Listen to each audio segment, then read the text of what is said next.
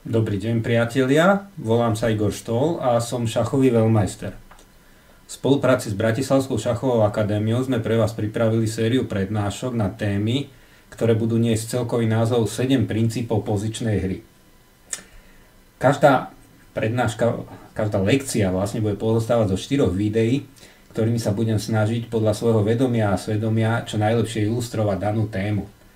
Mojou snahou bude vás poučiť o dôležitých aspektoch šachu a občas si teda neodpustím taký mentorský tón. Avšak tí z vás, ktorí sa v minulosti zúčastnili mojich prednášok naživo, vedia, že aj nejaký ten humor má v nich svoje miesto a dúfam, že sa trochu pobavíte aj teraz. Určite to nebude len o nejakom suchom biflovaní poučiek, na to je šach príliš rôznorodý a bohatý. Má veľa axiom, a práve tým podstatnejším sa v prednáškach budeme venovať. Jedno vám však zaručujem, len veľmi málo z týchto pravidel platí úplne bezvýhradne a za každých okolností. Dodám ešte, že tieto videá nevznikli všetky naraz, ale postupne tak, ako sú zverejňované na YouTube. Preto nás aj teší váš záujem, poznámky, pripomienky, reakcie a pokúsim sa na ne aj reagovať a tým vlastne formu, či dokonca aj obsah následujúcich klipov môžete ovplyvniť. Určite ste si všimli, že vo videách vždy ukazujem a komentujem jednu partiu. E, je to preto, lebo podľa mňa práve partie majstrov v ich celosti sú najlepším študijným materiálom. Môžeme sa poučiť z ich hry, a to nielen v momentoch, ktoré sú relevantné pre práve rozoberanú tému, ale aj v iných situáciách a, a dokonca sa môžeme poučiť aj z chýb, ktorých sa dopustili. Čiže ak vás povedzme po zviadnutí jedného, dvoch videí napadne dobrý ilustračný príklad, kľudne to napíšte do komentov. No, venujeme sa teraz e, tretej téme, e, ktorou je obmedzovanie pôsobnosti superových figúr. A toto už je posledný, štvrtý klip na, na túto tému. A avizoval som v predchádzajúcom, že dnes si ukážeme partiu z tvorby Garyho Kasparova. No, Gary Kasparov bol fantastický šachista, e, človek, ktorý dá dlho vládol šachovému svetu, či už bol majster sveta, alebo mal najvyšší rating. A v časoch svojej najväčšej slávy dokázal skutočne superov dostávať pod ohromný tlak. A aj e, ten spôsob, akým v našej partii obmedzí vlastne pôsobnosť superových figúr, je priamočiari, agresívny, proste vlastnými figurami, ja som to už aj spomínal, e, dostane jazdca na jedno dôležité predsunuté pole a ten prakticky paralizuje čiernu pozíciu. Budeme si pozerať partiu e, Kasparov Piket z turnaja v Tilburgu v roku 1997. No, hral sa dámsky gambit a Piket zahral DBR C4, prijatý dámsky gambit. Tak to je otvorenie, ktoré aj dnes sa vyskytuje vo veľmajstrovskej praxi eh, a nedá sa povedať teda, že, že tu má biely nejakú garantovanú výhodu, hoci čierny sa vzdáva povedzme nejakých tých centrálnych polí. Dámsky gambit nie je skutočný gambit, pretože toho pešiaka, pokiaľ biely netrvá na tom, ako skutočne chce hrať gambit, tak toho pešiaka je schopný veľmi rýchlo zobrať náspäť. No. Najagresívnejšou reakciou tu je E4 No, to sa vyskytlo aj v Kasparovovej praxi a takisto hral aj iný, inú podobu tohto dámskeho, prijatého dámskeho gambitu, jazdec C3, jazdec F6, jazdec C3 a po A6 je z toho skutočný gambit. No, tu na bieli netrvá na bráni toho pešiaka okamžitom a e, proste hraje, hraje na iné faktory, na náskok vo vývine a možnosti proste stiesniť tie čierne figury. E, našej partii prišlo E3. Toto je štandardný ťah. Teraz e, vlastne to pešiaka biely zoberie okamžite späť, pretože pokiaľ čierny pokračuje B5, po A4 už krytie pešiaka C6 e, je vážnou chybou a vedie priamo k stratám materiálu. No, tak ukážem len taký základný variant. B5 sa prakticky nehráva v dnešnej praxi. E, Piket pokračoval jazdec F6. Došlo jazdec F6, prechádza do štandardných pozícií prijatého dámskeho gambitu, ktoré môžu vzniknúť aj keď biely hraje e, jazdec F3 e, v treťom ťahu. jazdec F3, jazdec F6 a teraz E3. No, tu v tejto verzii po jazdec e, po, po DBR C4 po okamžitom E3 má čierny možnosť zahrať E5. Na to biely vezme na C4, EBR D4, EBR D4. Vzniká pozícia s izolovaným pešiakom. Ale biely má trošku viacej priestoru, má, jeho figúry majú slobodu pohybu a tu môže biely bojovať o výhodu. Táto pozícia sa po, považuje za príjemnú pre bieleho. E, môžeme si to ilustrovať aj vlastne na príklade z, to vás možno prekvapí, z výmenej francúzskej. No, vráťme sa teda úplne do otvorenia. Výmena Francúzska je považovaná za pomerne neškodnú a svojho času Kasparov, veľmi krátky čas, teda hrával výmenu Francúzsku spojení s ťahom C4.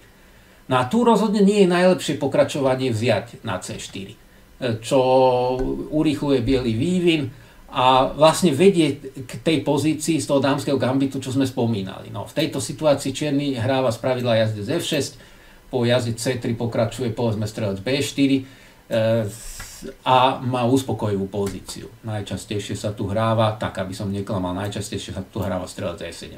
Čierny pokračuje vo vývine a môže byť spokojný teda. Zatiaľ čo naopak teda pokiaľ, pokiaľ urýchli ten vývin bieleho, tak e, biely má väčšie šance proste výjsť z otvorenia s nejakou výhodou. Čiže aj kvôli tomuto teda Piket nepokračoval E5, ale zahral jazdec F6, čo je aj populárnejšie prišlo strel C4, E6, jazyc F3, C5, rošáda A6. Toto je jedna z dôležitých a základných pozícií prijatého dámskeho gambitu. No, vzniká už dlhé roky. E, v 90. rokoch v tej hlavnej línii, čo sa vtedy hrávala po dáma E2, V5 čierny dokončil vývin najprv teda dámskeho krídla po jazde C3, ehm, pokračoval buď dáma B8, ale tá čierna dáma môže ísť takisto aj na C7, môže ísť aj na B6. Nakoniec uvidíme, že vlastne po všetkých týchto troch ťahoch môže vzniknúť tá istá pozícia.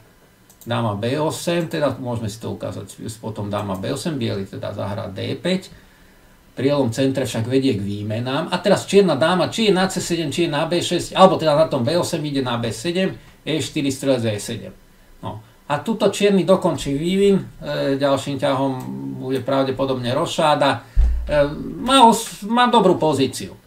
A tu mu celku nič nechýba, ako to, to ťažko bieli vybojovať o nejakú prevahu. No, čiže tento variant postupne začal vychádzať z módy, tá, tento systém z Dama E2 a hľadali sa za bieleho iné spôsoby, ako bojovať o prevahu. No a jedným z nich demonstruje aj Kasparov. No. A zahral strelec B3. E, to vlastne, strelec B3 je práve zamerané proti tomu B5. Čiže je to také do, do určitej miery, vlastne sype e, piesok do, do toho čierneho súkolia a a na B5 už pravda nebude biely hrať dáma E2, ale má pripravenú inú reakciu. No, tak e, hráva sa aj A4, sa hráva takto priamo, biely zamedzuje B5, ale to strelec B3 je predsa len rafinovanejšie. Piket napriek tomu teda trval na svojom, zahral dôsledne, ale je to dosť riskantné, pretože B5 nie je vývinový ťah, B5 je ako v tomto prípade síce pomáha vývinu čierneho, ale ďalšiu figuru do hry nedostáva. No. Tak neskoršia prax, tento, tento variant strelec B3 sa hrával e, v časoch, keď e, prijatý dámsky gambit povedzme hrávali ľudia ako Anand z tých, tých silnejších a proti Anandovi pozície bieleho hajil buď Kasparov alebo často Kramník, no tak vtedy sa aj rozvíjala teória tohto variantu a dospel sa k tomu, že predsa jazdec C6 je asi rozumnejšie menej riskantné. No, tak teraz biely pokračuje jazdec C3. No a teraz čierny už je asi na čase, tu je asi najlepší moment už pre výmenu v centre. Ide o to, že pokiaľ čierny teda pokračuje vo vývine strelca E7, tak jednak biely môže zobrať na C5 a čierny, keď bude nútený doberať toho pešiaka naspäť, e, toho C5 pešiaka, no tak stratí tempo s tým strelcom. To je jedna, jedna možnosť, ale bielý môže hrať aj dáma E2. No, tu si zacitujem jednu Kasparovú partiu z toho istého roku, v roku 97 hral so Spangenbergom, a, kde hral práve dáma E2, Purošade šiel veža D1, CD4 a teraz šikovne jazdcom zobral. Jazdec berie D4, a, tu už jazdec krát D4 asi nie je najpresnejšie, možno o niečo lepšie je dáma C7. No, hoci aj tuto biely stojí predsa má niečo lepšie. Má určitý náskok vo vývine, ten pešiak teda chce postupovať ďalej. E, tým si biely vytvorí aj predpoklady pre útok na kráľovskom krídle. Ale po jazdec bere D4, E bere D4, e, tu ten biely vlastne dokáže otvoriť hru, pretože hrozí ten postup D5, no a tá biela väža už je vhodne umiestnená na D1, e, strelec C1 tiež ľahko vchádza do hry, zatiaľ čo vidíme, že čierny ťažšie dostane tie svoje figury do hry. Ten Spangenberg sa tomu snažil zabrániť takto fyzicky, ale ten jazdec sa neudrží na D5. Teraz ešte zahral ďalší taký, možno nie najlepší ťah, dáma C7, C4, Uh, stres D6 teda, stres D6 je určite nie je ideálne, to je, to je strata tempa, jednoznačne. Lebo Kasparov ho kopol, no na H2 si nemôže dovoliť zobrať, to by toho strelca strátil, by ho nevyslobodil už odtiaľ, tak sa vrátil, no a túto dáma C6 D5 e, vlastne sa otvára pozícia v centre, zatiaľ čo čierne figúry ešte vôbec nehrajú. No, čiže už tu stojí biely na, na pokraji výhry. No. Ale to stred E7 nie je dobré Miesto strelec E7 treba vziať na, D5, na D4 a, a až teraz zahrať strelec E7. No, a toto je normálna bežná teoretická pozícia. No, po nejakom strelec G5, čierny sa hrá rozšádu. Tu na čierny v celku úspešne môže bojovať o vyrovnanie. Ako, hoci teda v tých, e, na, na, prelome, na prelome teda e, tisíc ročí e, Kramník dvakrát porazil v tomto variante bielými Ananda, aj Kasparov, myslím, vyhral takú celku peknú partiu s Ivančukom. Neskôr sa našli aj vylepšenia hry Čierneho a táto pozícia sa považuje za hráteľnú. No. To B5 predsa len, Piketovo B5 je spojené s trošku väčším rizikom. No, teraz prišlo A4, čiže okamžite vlastne nápada ten čierny pešiakový reťazec a nutí Čierneho sa vyjadriť. No, tak rozhodne nie je ideálne zobrať tu jednak to rozbíja tu dámske krídlo a navyše teraz teda biely zahrá E4, e, čierny predsa len zaostáva vo vývine, ten král je ešte v centre, toto, toto je veľmi nebezpečné. Po strelec B7 môžem zahrať D5, tá hra sa otvára, e, tu na biely môže sa dostať veľmi rýchlo k prúdkému útoku. No. Ani strelec B7 nie je ideálny ťah. Bielý vymení, vymení aj veže, No a ten B5 pešak sa stane objektom útoku. Buď biely zahra dáma E2, alebo môže pokračovať aj jazdec A3.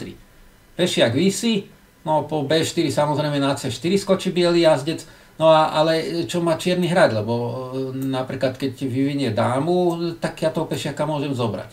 A toto prijatie tej obete, v úvozovkách obete vedie k strate dámy. Čiže stres B7 tiež nie je riešenie, a ani C4 sa nie je príliš ideálne, lebo tu vlastne čierny rieši dobrovoľne to napätie v centre, biely ústupy na C2 a v ďalšom, v ďalšom priebehu môže teda obsadiť centrum.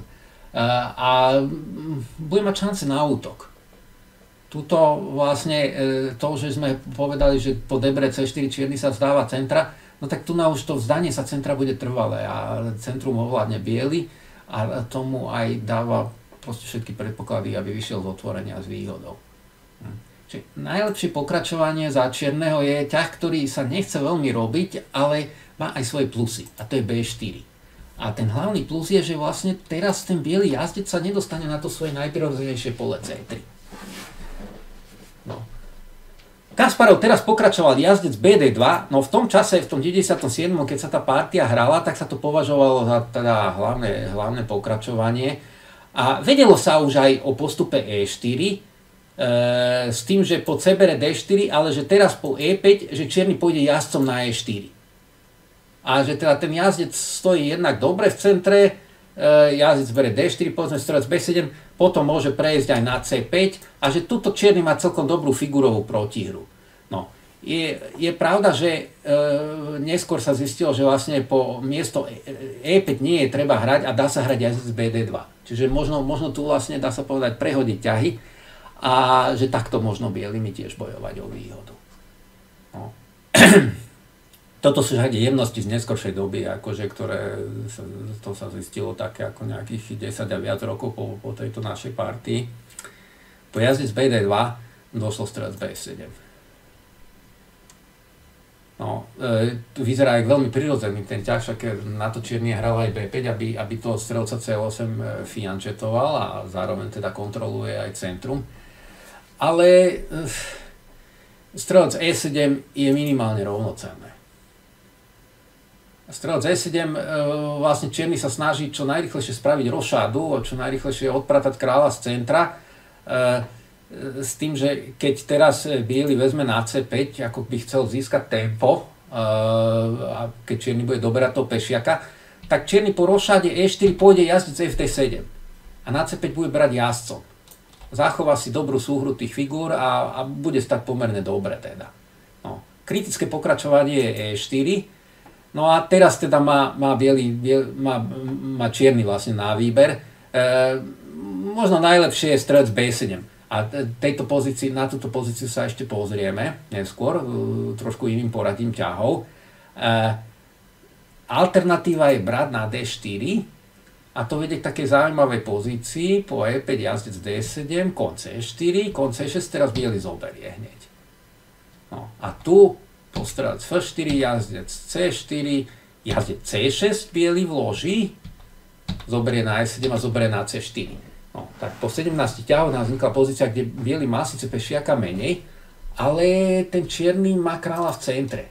To nie je ideálne, navyše biely má teda aktívnu dvojicu strelcov, e, má možnosti proste napadať aj tých e, slabých pešiakov čierneho na dámskom krídle, keby bol náťahu, tak možno by hral A5 a ten pešiak B4 by bol ešte citlivejší. Tu nám má biely veľmi dobrú kompenzáciu, pretože e, kým sa Čierny skonsoliduje, kým sa mu podarí e, spojiť veže a, a, a uviesť e, toho kráľa ako tak z centra do bezpečia, tak väčšinou bielý aj sa mu podarí aj vyrovnať materiál a s, s tou dvojicou strelcov teda má určitú iniciatívu. No, väčšinou sa teda hraje práve strelec B7 a na to teda hlavný ťah bielým je dáma B3. A kompenzáciu má biely a aj má tu na slušné výsledky teda. Čiže toto tiež nie je niečo, čo čo e, je veľmi, to nie je jednoduché hrať túto pozíciu čiernymi, čiže možná, možná miesto toho CD4 je lepšie predsa to strelec B7, k čomu sa vlastne ešte dostaneme. Na strelec B7 e, práve ešte v tom roku 97 táto pozícia už tak nejak bola známa, ale hrali sa tu také, také mm, spokojné, tiché ťahy, biely dokončoval vývin, napríklad dáma E2 No a čierny tiež samozrejme pokračuje vo vývine. Strelec E7, kon C4, ja spravím rošádu, po strelec D2 dám dáma B8, no a potom ďalšie ťahy sú strelec D5, tá dáma ide na tú dlhú diagonálu. Tu má čierny, e, tu čierny skoordinoval svoje figúry, má dokončený vývin a podarí sa mu vyrovnať hry. Tu na nemá nejaké vážnejšie problémy, to, to, to, to, tejto vetvy sa príliš nemusí obávať teda. No. Bielý má energickejšie pokračovanie, to sme už naznačili. Bielý šiel E4. Čiže expanzia v centre, kým čierny má dokončený vývin, tak pôsobí, pôsobí obrane viacej starosti. No. Zobrať ten pešiak E4, ten je skutočne taký dobre otrávený. Jazdec E4, jazdec krát E4, strelec E4, teraz príde strelec G5, to je jeden vývinový ťah, ďalší, ďalej bude následovať potom väža E1, E, tu proste biely len dokončí vývin a získa silný útok, pretože e, čierny, čierny stále, no minimálne čo, čo, čo sa podarí bielemu dosiahnuť, určite získa toho pešiaka náspäť. Ešte, ešte vo viacerých partiách sa hralo aj väža E1, čo je, čo je aspoň, aspoň rovnocenné teda. No, väža E1 tiež dáva bielemu mohutnú kompenzáciu za toho pešiaka. Čierny e, Piket zobral na D4. A toto nie je úplne ideálne. Neskôr teda e, potom pochopili už okolo roku 2001, myslím to hral prvýkrát e, Ruslan Ponomáriov, ktorý sa stal majstrom sveta FIDE. E, je ťah strelec E7. Čiže neberiem na D4, hrám strelec E7, idem proste čo najrychlejšie spraviť rozšátu. No, to máme vlastne s prehodením ťahov tú pozíciu, čo sme spomínali. Ako keby Čierny hral v 9. ťahu strelec E7 a po E4 strelec B7. A tak tu po E5 môžeme si pozrieť nejaký príklad. E5 je najčastejšia reakcia, Čierny ide na D7 tým jazdcom, jazde C4, rošáda, SC2, teraz teda berie, môže obetovať pešiaka, vznikne taká zaujímavá pozícia. Ako Bielý má aj dvoch strelcov, má aj pešiaka navyše, ale tu nám má určitý náskok vo vývine čierny. Rýchlejšie proste sa mu dostanú tie veže do hry, strelec D2, veža B8, slušnú kompenzáciu má čierny za pešiaka. Toto je z partie e, Riazancev Rublevský z roku 2005. Tá sa hrala teda o 8 rokov neskôr, jak tá náša. A skončila, myslím, remízou teda. No. Čiže tu čierny vyriešil problémy otvorenia. CBR D4 je spojené s väčším rizikom. E5. No a teraz spravil, teraz spravil Piket, e, nepoviem, že CBR D4 bola priamo chyba, ale povedzme, že ne, nebol to presný ťah a, a tento následujúci ťah je znovu nepresnosť, už asi vážnejšia. No. Kam by ste šli tým jazdcom? Skúste sa zamyslieť už sme tu mali takéto podobné situácie, no väčšinou sme chodili na D7 a to je správne aj tu. Aj tu je to najlepší ťah. Ostatné ťahy nie sú ideálne. On, ten Piket išiel na D5 a tým obmedzuje toho svojho strelca. Obmedzuje pôsobnosť strelca. Ten jazdec na D5 síce na prvý pohľad stojí krásne proste v centre na poli, odkiaľ ho nemožno vyhnať, ale nenarúša e, ďalší rozvoj tých bielých síl. Ako naopak, hraje to bielemu do kariet. No, pokiaľ by čierny šiel jazdcom na E4, mm, to tiež nie je úplne ideálne. Tu na biely zase získa jedno tempo, postrelec B7 normálne zobere pešiaka naspäť, SC5 strelec E3 e, získava vlastne ďalšie tempo, lebo ako vidíte hrozí jazdec berie E6. To je seriózna hrozba. E, a tu má biely výhodu. No, má, má teda aj náskok vo vývine a vzhľadom na to, že Černý sa musí venovať odrážaniu priamých hrozieb, tak má dosť problémy teda. Ale to jazdec D7, to jazdec D7 je ešte relatívne najlepšie.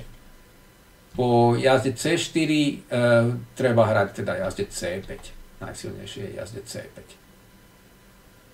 Strelec G5.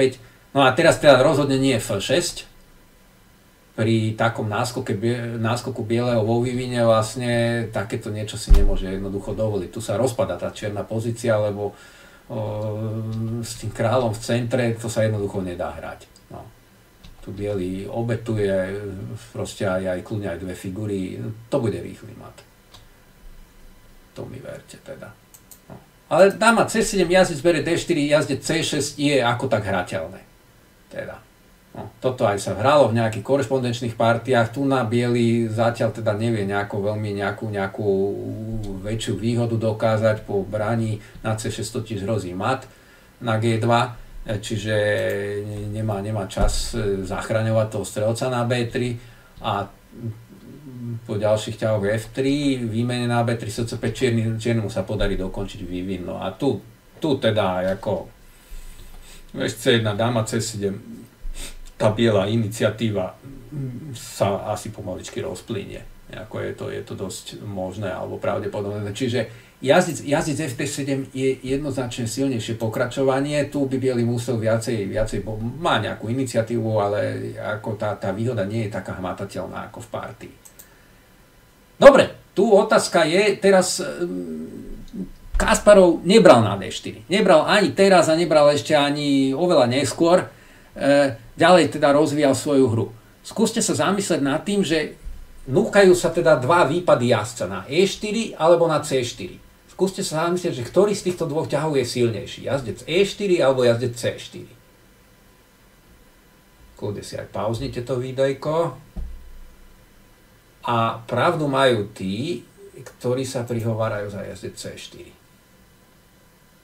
No, to pole E4, jednak môže tam niekedy skončiť aj ten druhý jazdec a jednak tam je, tam je ten jazdec zraniteľný.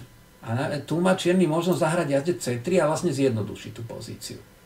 No, bielý je teraz nutený brať na C3, získa síce pešiaka naspäť, ale čierny, e, čierny potom môže pokračovať vo vývine a dostane sa z najhoršieho. O jazde C4 to také jednoduché nie je. Tak napríklad, keď, keď chce sa vyvíjať, keď chce vyvíjať kráľovské krídlo, strelec E7. To sa ale nestalo, na to je veľmi silné strelec G5. Bielý sa snaží práve vymeniť toho strelca E7, aby, aby skočil tým jazdcom na D6. Rošada, jazdec D6 rovno. No, teraz keď čierny vezme na G5, jazdec P7, dáma E7, no tak vložím ešte tú výmenu a teraz buď zoberiem na G5, alebo, alebo sa vrátim jazdcom na D6 tu biely získa toho pešiaka naspäť a má, má citeľnú prevahu. Ak čierny miesto strelec bere G5, zahra SC6, tak biely vezme a teraz tiež nebude brať na D4, ale hrá kon G5. Hraje na útok. Strelec D5 dáma D3, OK, to nie sú žarty, ako tu hrozí priamo mat. Na nejaké G6 zahrám dáma H3, H5, strelec D5, a teraz, keď vezme jazdcom černý, tak príde jazdec krát E6 a čierna pozícia sa rozpadne. No.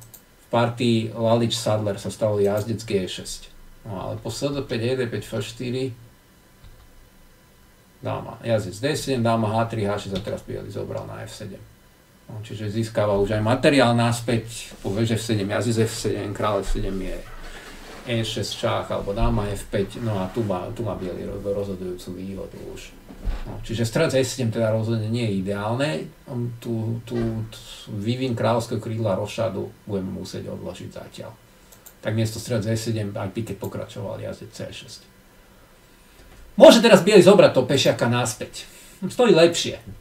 Nejako má iniciatívu, ešte má nejaký ten náskok vo vývine No ale Kasparov, to som spomínal, že on teda na tom D4 ešte, ešte nejakú tú chvíľu nebral, on zahral ešte ambicioznejší ťah a to bolo strelec G5. No. Tak znovu čierny rozhodne, čo si nemôže dovoliť, je nejaké to F6, proste takto otvárať hru pri kráľovi v centre, pri nedokončenom vývine, teraz príde väža E1. Tu na bieli kľudne obetuje aj všetko, čo mu pod ruku príde, proste to síce v tejto chvíli má biely e, väžu menej, ale nie je to cítiť. No a ten čierny král je absolútne exponovaný. Keď v takejto pozícii si pustíte nejaký hociaký engine ako dnešný, no, tak vám začne kvíliť a kričať, že biely stojí na výhru. Urobím to aj ja teraz a ten engine mi to len potvrdzuje. Proste ani, ani nevidí dobrú obranu vôbec. Prehratá pozícia jednoducho. Toto, e, e, samozrejme aj tých vyše 20 rokov dozadu takí ľudia Kasparov tu ani nepočítali ďalej, to bolo jasné. Ale aj Piket samozrejme si uvedomil, že takéto niečo nemôže urobiť. No. Tak e, strelec E7 nemôžeme hrať, lebo jazdec D6 šach. E, dáma musí ustupovať. Dáma C7 nie je ideálny ústup. Na dáma C7 príde väža C1 tu na, nám vznikajú problémy potom cestovci zrazu. No. A keď e, pokračuje čierny strelec C5, tak môžem hrať aj jazdec D6. Strelec D6, teraz teda vložím branie na D5. A pokiaľ čierny teraz zoberie toho strelca, tak ja otvorím hru, dám ešte jeden šach, aby som zamedzil rozšádu, príde jazdec krát D4. No. Bielý má síce pešiaka menej, ale má vyvinuté všetky figúry, všetky sily a to o čiernom nemôžno povedať a čierny to už ani nestihne urobiť. Proste tieto veže, aby sa dostali do hry, aby to čierny prežil, to je, to je prakticky nemožné. No. Tak silnejšie je zobrať strelcom na E5, no ale tu na je čierny v tých väzbách, po tých otvorených slupcoch, toto, toto je katastrofa pre čierneho. Tu asi príde o materiál, teda ešte relatívne najlepšie spraviť rozšádu, jazdec E6, strelec H2, no král H1 Bielý bude mať kvalitu návyše, minimálne, no a veľké šance na výhru. To, pokiaľ čierny zoberie na D4, veškrát D6, tu ten útok je neodraziteľný. Jednoducho. Tak Piket nešiel na C7, išiel dámov na D7, aj tak došlo veža C1. Znovu teda ne, nehra to jazdec krát D4. Tu na to jazdec krát D4 je ešte silnejšie možná ako oťah dozadu. No, pokiaľ by čierny zahral H6, OK, teraz strelec H4, jazdec F4 asi nie je úplne ideálne, ale biely môže vložiť výmenu na C6 a pokiaľ teda čierny, čierny zobere dámov, tak dám jazdec A5 a pokiaľ zobere na G5, tak idem tiež jazdcom na A5 No biely má proste prevahu vo vývine a to tomu dáva jednoducho e, výhodu. No, tu čierny ešte, ešte má fakt e, veľké problémy. Teda. No. Veža C1 nie je o nič slabšie a tiež, tiež teda ako tu vyžaduje si to presnú reakciu od čierneho. No. A hneď, hneď tu, táto pozícia ani, ani potom už nevznikla nejak ďalšej praxi. E, Kasparov proste tá pekná výhra s tým piketom odradila nejakých následovníkov tak je to pochopiteľne, objektívne táto pozícia je veľmi nebezpečná pre Čierneho. No. Tak ako... A, a Piketov ťah H6, ten nepomáha. To je, to je slabší ťah, po ktorom teda tá čierna pozícia bude kompromituje to pozíciu čierneho, ale u, ukážeme si konkrétne z jakého dôvodu. Silnejšie je vyvinúť sa, zahrať ťah strelec C5. No. A teraz teda biely pôjde jazdcom na D2, aby išiel na E4. A napríklad, keď idem tým jazdcom z F3, no toto nie je úplne ideálne. Strelec E7. Tuto ten strelec e, proste nemá možnosť nejako vyhnúť sa buď tej výmene strelcov, alebo keď uhne s tým strelcom, tak na D2, no to nie je rozhodne ideálne. A tu ten čierny ako tak má takú pozíciu, ktorá je relatívne obrany schopnejšia ako, ako to, čo vzniklo v partii. Teda. No. Kasparov na stred C5 chcel ísť na D2 druhým jazdcom. To je paradoxné trošku, lebo ten nedávno len išiel na, na C4. No ale aj tuto má biely výhodu. No. Po, po nejakom e, strelec B6 pokračujem jazdec E4, rozšáda, no teraz napríklad dáma D2. Napriek tomu si myslím, že to Čierny mal hrať, ako že teraz môže hrať napríklad takto, má tu biely iniciatívu, ale ešte, ešte, ešte nemôžno povedať, že tá pozícia je výhrata za bieleho alebo niečo podobné. No, tu sa ešte bojuje, hraje, no nakoniec Čierny ešte chvíľku bude mať pešiaka navyše. Bielý ho asi dokáže získať späť, ale že či, či bude mať aj nejakú výraznejšiu výhodu, o tom sa rozhodne až v ďalšom priebehu boja. Okrem strelc B6 môžem ísť aj strelcom na E7, No a teraz teda čierny si musí vybrať, že ako zoberie. No, tak ako pokiaľ, pokiaľ teda berie dámov, tak tu biely stojí jasne lepšie. Zoberie na D4. Tuto má zadarmo proste, bude mať lepšiu ľahkú figuru. Ten jazdec v centre bude určite lepší ako strelec. Čierneho na B7. Keď zoberie jazdcom z C6, tak príde tiež jazdec E4. E no a teraz teda, keď skočí na E3 alebo C3, tak biely môže dať čah na D6. A tu má tu vloží ťah väža C7. No. Sice v koncovke má nejaké, nejakých pár pešiakov navyše, no ale ako vidíte, jak stoja tie čierne figúry, zase tie dve veže, ktoré nehrajú vôbec. Tu vnikneme na sedmičku, väža berie E6, ten jazdec je v offside. E, pešiak, pešiak na D6 je nebezpečný. E, toto je pozícia taká, ktorá je fakt na hranici výhry. No, väža E6 je silné a dnešný počítač tvrdí, že dokonca väža bere F7 priamo čiare, že je možná ešte lepšie. No. Väža F7, král H6, král F1. No, tu ten e, s tými aktívnymi figurami proste t, t, t, tá približná materiálna rovnováha ne, nehrá žiadnu úlohu a naopak tento pešiak asi rozhodne partiu. No, ešte relatívne, relatívne najlepšie je zobrať tým D5 jazdcom na E7, čiže takto. Na to biely tiež pôjde na E4 a skočí na C5. Dáma C7, dobrá, teraz sa pokriem na E1. No. S tým, že po, po nejakom veža D8 môže biely zase Podobne ako sme videli v tej partii Lalič Sadler, tu môže rozvíjať svoju hru na kráľovskom krydle a proti bodu E6. Čiže ako už ho nezaujíma až tak ten D4 pešiak. Dáma H3, H6, jazdec E6. Bielý získava pešiaka späť s výhodou. No, po D3, tak, tak. Teraz hrozí vidlička, pozor, T2. No a bieli ústupy tou vežou. Najlepšie asi takto veža CD1. No, a stojí lepšie. Miesto veža D8 môžeme hrať CC8, ale teraz teda tá väža ostane, väža ostane na, na A8 mimo hry. No, biely môže povedzme zahrať strel C2, previesť strelca na E4, zosiliť tlak. A má tiež výhodu. No. Stále ešte ale e, toto strel C5, napriek tomuto všetkému, toto strel C5 bolo lepšie pokračovanie. No, uvidíme, v čom je rozdiel. Party teda došlo H6, e, Kasparov ustúpil. No te, teraz strelec E7 e, prakticky neprichádza do úvahy, ako to vymení. E, aby, ne, aby nevnikol so šachom, tak musí hrať král berie E7, biely aj tak zahrá jazdec D6. No, to vyzerá ako, že však to nemusí byť až také zlé, jazdec krát E5, no ale teraz príde jazdec F5 šach. A po bráni jazdec krát E5 e, čierny král, otvorilo sa centrum a čierny král je teraz chytený v centre. Ďalším ťahom biely potom budem brať tohto pešiaka na D4, no tu má biely prudký útok. No, čiže to si ťažko môže dovoliť, tak išiel strelcom na C5. No, túto pozíciu sme pozerali akorát bez tých ťahov H6 a strelec G5.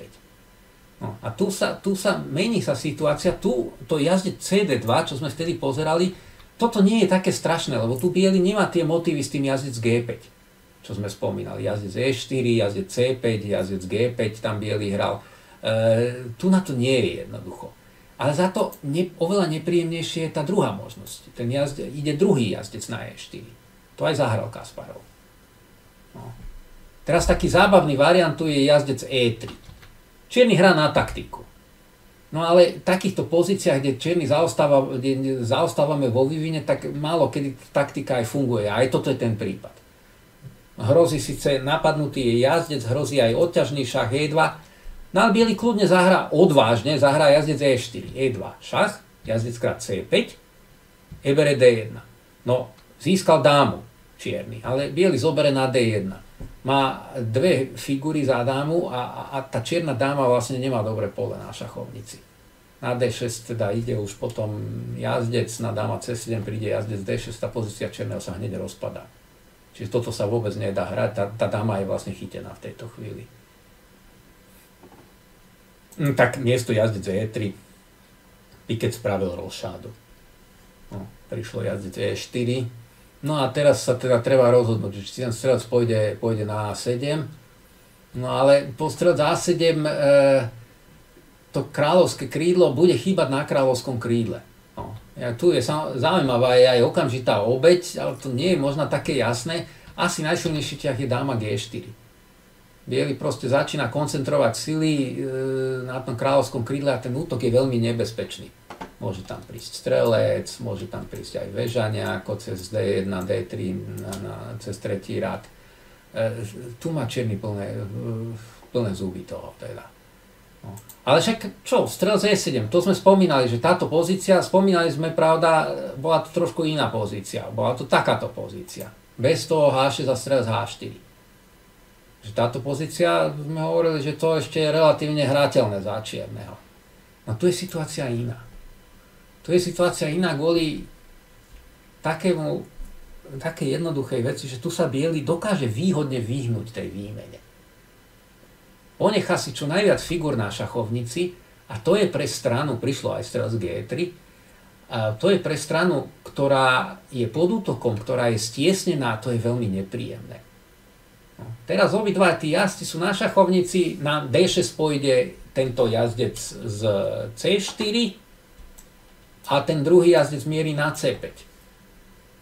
A čierne ťažké figúry, veže, tie ľahké figúry v centre, no ne, nevedia tomu zabrániť a, a čierny pod ohromným tlakom vlastne. Tý, tý, ten, a, a keď ten jazdec príde na D6, tak e, možnosti akejkoľvek nejakej relevantnej protihry budú silne obmedzené. Klesnú na nulu onedlho.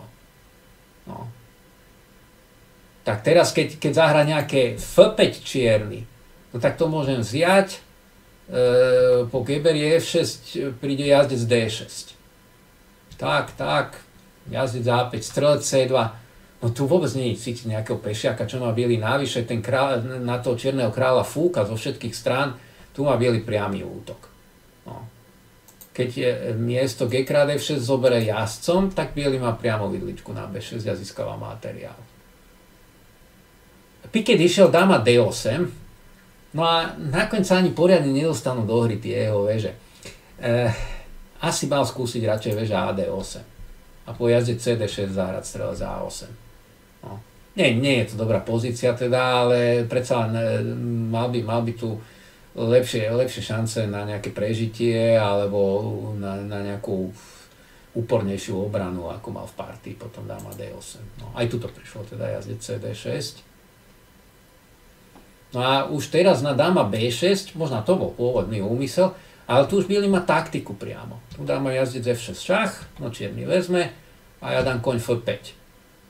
No a hrozí dáma G4 s matom a F krát E5 tiež nie je obrana, lebo to dám teda ten šach a, a toho strelca zoberiem potom na G5. Čím úplne obňažím čierneho kráľa. Tu biely prerazí útokom teda. Priamo. No.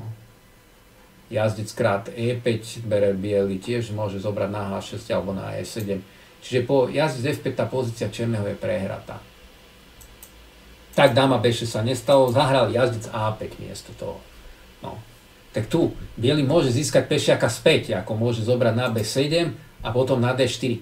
No to už, to už tušíte, toto je málo pre Kasparova, ten pešiak D4 ho až tak nezaujíma, a naopak ten bielopolný strelec sa stiahol s ním na C2 a to je dôležitá útočná figura.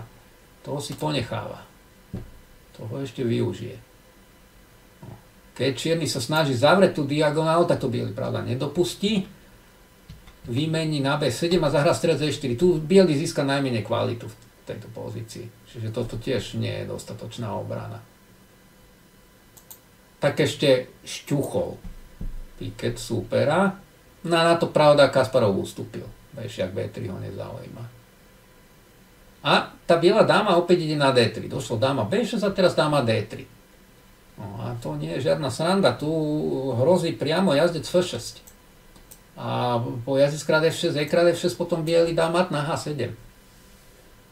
Strelec krát D6, jazdec krát D6 znovu hrozí mat. Čierny nemá lepšie ako G6. Veža FT1 No to čierny zúfalo slabý, aj na tých, e, ten král je oslabený, tie čierne polia, same diery. E, a pozrite sa na toho jazdca. Ten vlastne nepúšťa väžu na C8, e, proste tak obmedzuje strašne tú, tú, tú, tú, tú vôbec akúkoľvek nejakú hru čierneho, že no, čierny by ho, rád by sa ho zbavil, ale zase za akú cenu. No tuto stojí biely na hranici výhry. Teda. Tak to sa nestalo, on zahral hneď G6 piket. Eh, keď by hral F5 samozrejme, no tak biely zobere na F6. A tá dáma teda prenikne asi na to H7, toto neskončí dobre. Tak po G6 teda došlo jazde C5. No a teraz má biely už aj priame, priame hrozby, ako jedna je jazdec D7 a druhá je jazdec krát D6. prišlo srdce 8. Kryje teda ten bod E6, čiže tieto, tieto okamžité, okamžité veci, aspoň sa mu podarilo zamedziť. Keď by zahral jazdec B4 černý, tak Pieli už tu by zobral toho pešiaka náspäť. A zase hrozí jazdec krát E6 zo ziskom pešiaka. No, tu tiež no, ten tlak bieleho, tie aktívnejšie figúry, e, tí, jazdci proste úplne rozkladajú tú pozíciu čierneho. Toto, toto je na hranici nehrateľnosti. Tak miesto kom B4 sa stalo strel C8. A teraz už to branie, pravda, my sme to stále hovorili, že Kasparov nemá záujem o toho pešiaka. Tu na to šlo. No, a Bielý má veľkú výhodu teda. Kasparov zahral ešte silnejšie. No celku dobre chápe, že ten pešiak zatiaľ nie je až taký dôležitý. Zahral H4. No a zvyšuje tlak na tú čiernu pozíciu. Proste vnáša do toho ešte ďalší, ďalší, ďalší motív a to H5 s rozbitím kráľovského krídla. Pokiaľ čierny zahrá H5, na to príde dáma D4. Jazdec B7, OK, snaha nejako zjednodušiť pozíciu. Bielý môže hrať strelec E4 okrem iných ťahov asi teda, to možno nie je jediné. jazdec krát E6. No, to vyzerá tak e, zvláštne, ale v tento moment vidíte, vlastne obidve čierne veže sú napadnuté a čierny nezabráni strate kvality. No, zvyšok, zvyšok je vecou techniky, ako s kvalitou návyše už. No tak Piket zahral jazdec C6. To je silnejšie, no tak ten jazdec na A5 ako nič veľmi nerobí, tak sa vracia s ním do obrany a e, zároveň teda vytvára aj nejakú, nejakú hrozbu. Keby Bielý pokračoval v tom svojom pláne, keby zahral H5, tak by prišlo jazdec krát E5. A toto nie je až také jasné predsa len. No, tu nás sa zbaví toho pešiaka E5, aj toho jazdca, Bielý stále ostane vo výhode, stále bude mať útok, ale e, čierny predsa mu zablesne sa mu nejaký, nejaká iskierka nádeje na prežitie. Pokiaľ by biely bral na F7, tam má G6, tak ani toto nie je celkom jasné. Tu samozrejme biely má väčší šach, ale pokiaľ berie na E6, tak čierny vymení a zahra kom B4. Získa tempo útokom na tú bielu dámu. Tu má čierny figuru navyše, za troch pešiakov samozrejme, aj má exponovaného kráľa čierny. Ale zatiaľ, zatiaľ partia nie je rozhodnutá. Tuto sa ešte hraje proste. Veža C8 je, po, veža C8 biely povedzme, že udrží výhodu, ale nie je to až také, nie je to až také presvedčivé a jasné. Kasparov našiel, Kasparov hrá po celej šachovnici. Predchádzajúci ťah bol H4 a teraz teda našiel spôsob, ako, ako zasiahnuť vlastne na dámskom krídle tak, aby zvýšil svoje šance na kráľovskom krídle. Zahral A5. No, toto mení vlastne situáciu na šachovnici. Pokiaľ teda zoberie jazdec na A5, tak tu už H5 ide. Už jazdec krát E5 nejde. Ten jazdec už opustil pole C6. No a to H G6 vlastne rozhodne partiu. Jazdec B4, OK, snažím sa tu dámu nejako zahnať. No, teraz sa mi ju podarí zahnať. Príde na D4. Bielý má síce pešiaka menej, no ale toto kráľovské krídlo je pod ohromným tlakom, tu nahrozí aj priamo nejako po tých čiernych poliach, akože vystupňovať ten tlak. No, tu stojí na prehru čierny. Tak on zobral na A5 dámov, no ale teraz vlastne ostane, teraz ten jazdec C6 nie je krytý a ten variant, ktorý predtým e, bol nie celkom jasný, ten teraz vychádza veľmi dobre. Jazdec F7, tak, dáma G6, no, veža G7 je beznádejné. No, teraz vlastne aj kvôli tomu, že, že ten jazyk C6 je nekrytý, tak ako tu biely jednoducho zoberie toho jazdca. Dá má E8 šacha a postrad F8 vezme. A stojí na výhru. Vysí ešte aj čierna väža, vysí aj pešiak na E6, to sa nedá hrať. No tak král F8, jazdec krát E6, strelec krát E6. No a teraz nie dáma krát E6, ale väža berie C6. No, a v tomto je rozdiel teraz tá čierna pozícia sa úplne rozsýpa. Ako už partia trvala vlastne, vlastne len jeden ťah, čierny zahral stres D7, tak možno aj jazyc C7 e, by trošku predlžil tú agóniu, no ale tak ako zoberiem na H6, e, po král G8 môžem brať na E6, môžem brať na C7 a toto je jednoducho vyhraté tu na biely má aj materiálnu prevahu a najmä teda ten čierny král je exponovaný, biely proste pokračuje v útoku všetkými sílami proti úplne holému kráľovi. To sa nedá prežiť teda. No. Ale strelec D7 je slabšie, pretože teraz teda tá partia skončila okamžite, dáma H6. No a to bol posledný ťah. Tu Piket pochopil, že čo ho čaká, už e, teraz kapituloval, pretože e, na král E8 by prišlo E6 strelec krát C6, E krát F7. No, teraz teda vysí aj ten strelec na C6 a keď ho čierny sa ho pokusí pokryť, no tak veľmi rýchlo dostane mat. Strelec F5 šach. A čierny král, keď ustúpi na základný rád, no tak už, bielý, už tu bielý matuje. Dáma H8 napríklad je najrýchlejšia cesta k matu. Čiže po dáma bere H6 čierny kapituloval.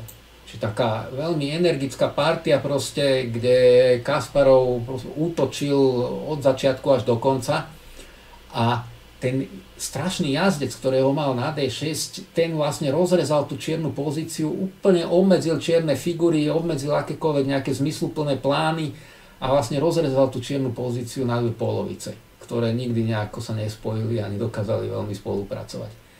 Kasparov, pravda, e, už raz takéto niečo, minimálne raz takéto niečo urobil v 16. partii druhého zápasu s Karpovom, dokonca čiernymi postavili jazdca na D3 a vyhrali jednu krásnu partiu, čiže s tým Piketom teda e, určite ho napadali analógie s, s, s partiou Karpov Kasparov a tie analogie teda aj takto produktívne využil. Tak tým sme naplnili tému, ako obmedzovať pôsobnosť superových figur. E, spomínali sme, že na ňu nadviažeme e, ďalšou témou o profilaxii, o tom, ako prekaziť superov plán. Čiže teším sa na vás na, na ďalších videách, kde sa budeme venovať tomu, ako zabrániť alebo ako prekaziť superov plán. Ďakujem za pozornosť.